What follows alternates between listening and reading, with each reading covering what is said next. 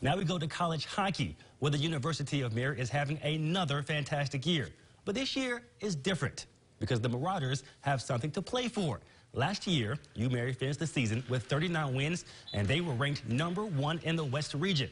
However, because they were a first-year program, they were not eligible to play for a conference tournament championship or advance to the national tournament. This season, UMary is 27 and 6 and ranked number one in the nation.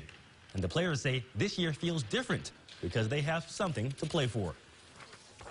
We knew the plan was going to be a two-year program to start, and it was something that last year we had a lot of drive just to try and prove that we were a team that was worth playing here.